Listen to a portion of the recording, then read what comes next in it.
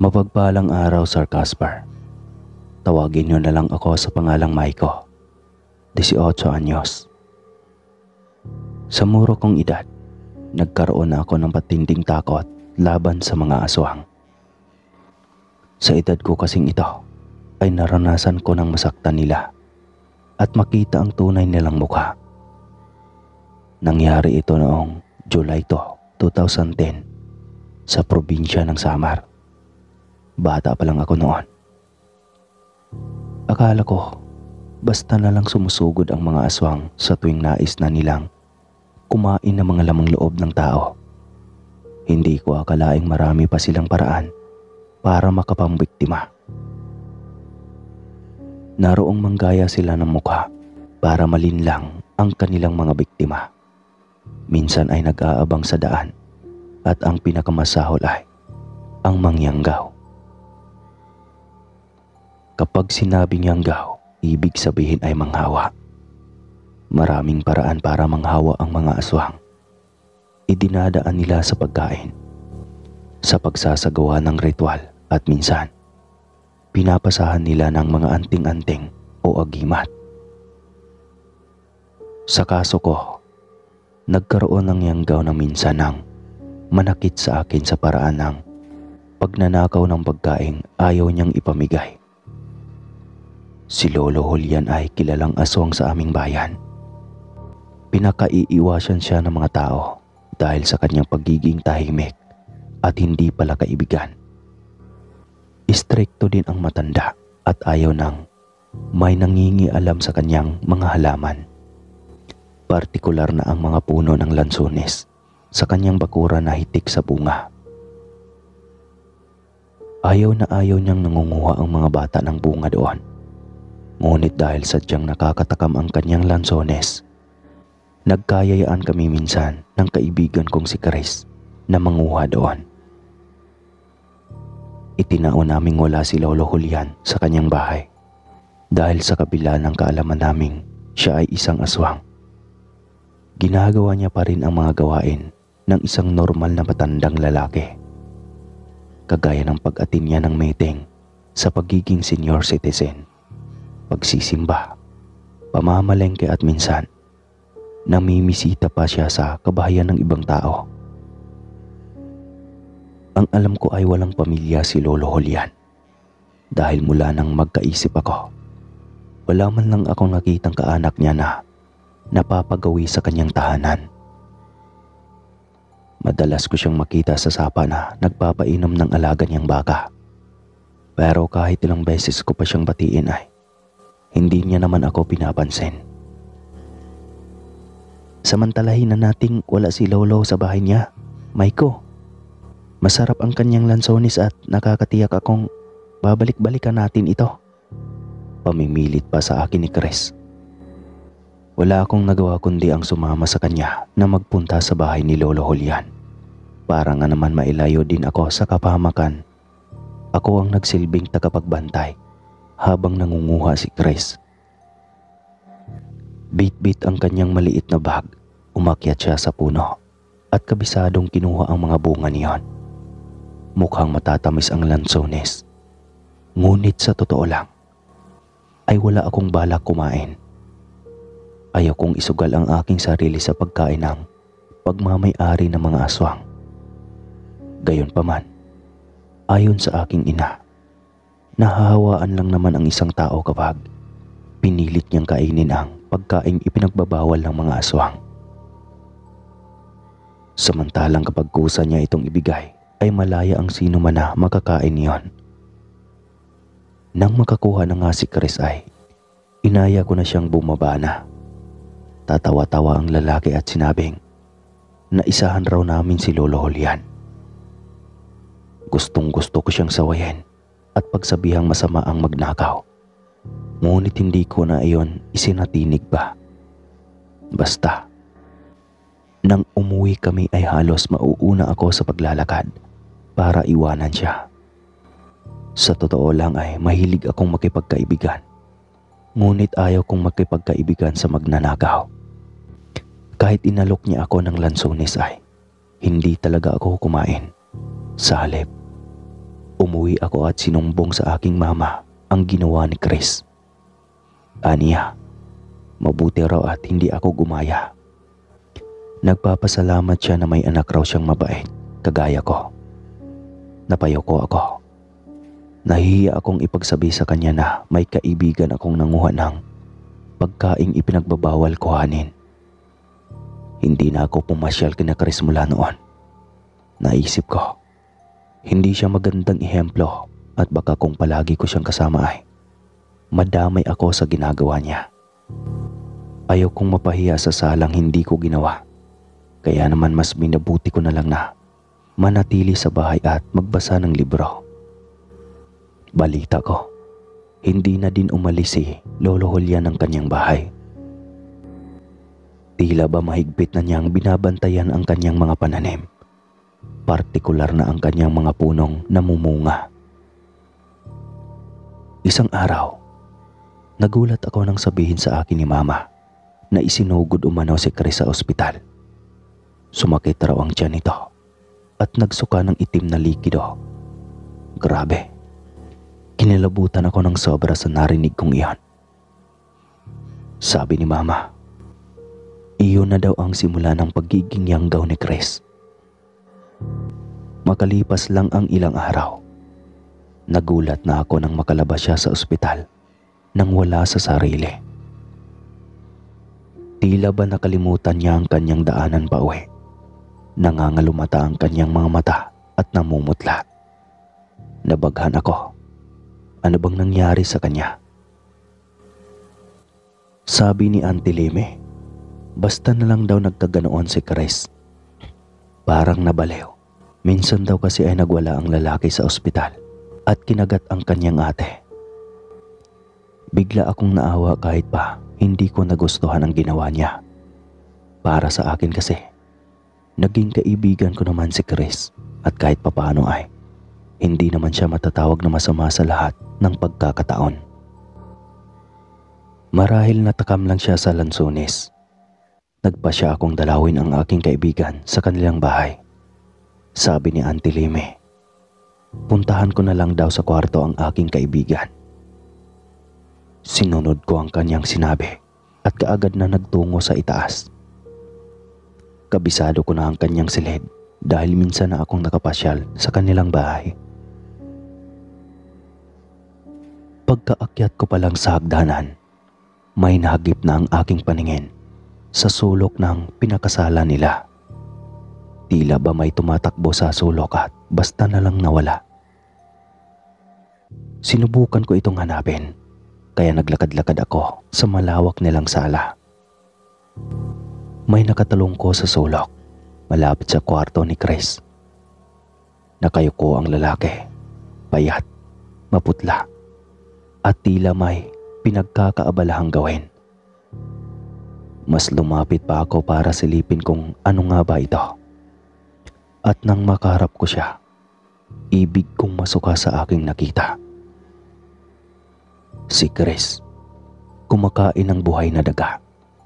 Nagkikikisay pa ito habang kinakagat niya sa leeg ang kawawang peste. Ang sumirit nitong dugo ay kumakalat na sa kanyang mukha. Napaatras ako at hintakot na natutop ang aking bibig. Ano ba ang nangyari sa kanya? bakit nagkaganoon si Kares.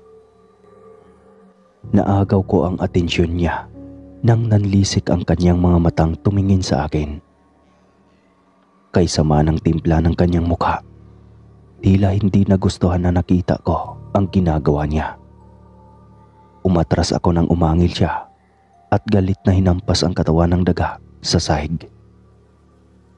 Tila hinalukay ang aking sikmura ng tumilamsik ang ibang nadurog na laman at tugon nito sa aking paanan. Chris, anong ginagawa mo? Nanghihinang tanong ko sa kanya.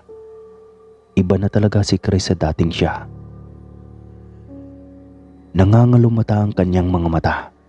Tila mas namayat siya ng gusto. At ni hindi na yata nakatikim ng mahabang pagtulog. Umangil si Chris at tila asong nauulol na naghahandang mga gat. Kinabahan ako at napaatras ngunit Bago pa man ako makalayo, dinaluhong niya ako. Dahilan para matumba ako. Doon na kami nagkagulo.